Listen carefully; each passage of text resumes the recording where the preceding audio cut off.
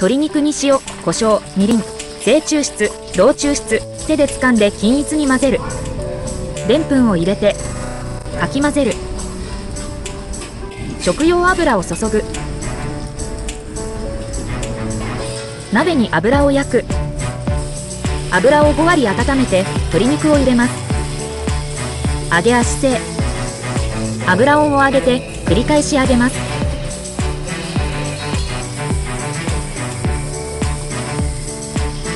黄金色に揚げてすくい出す。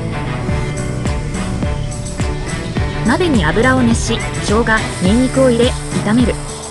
山椒干し唐辛子を入れ炒める。鶏の塊を入れ弱火で香りをつける。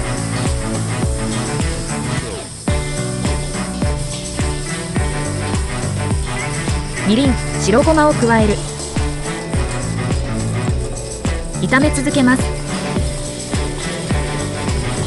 小ネギを入れる。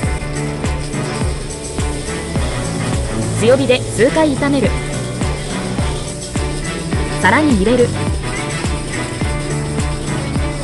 からし鶏ができました。